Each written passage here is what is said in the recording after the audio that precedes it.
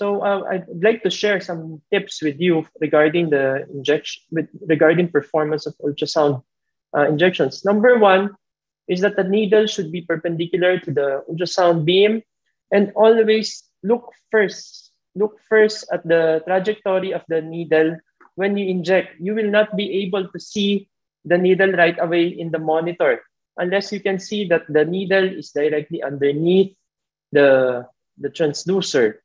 So,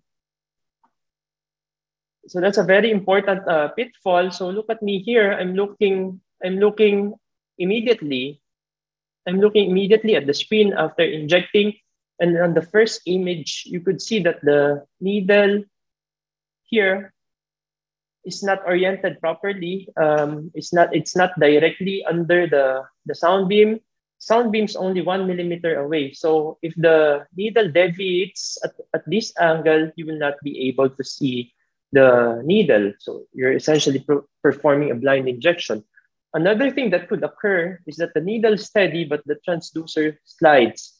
So it's always important to aim at the center. So this is the marker usually for, for transducers.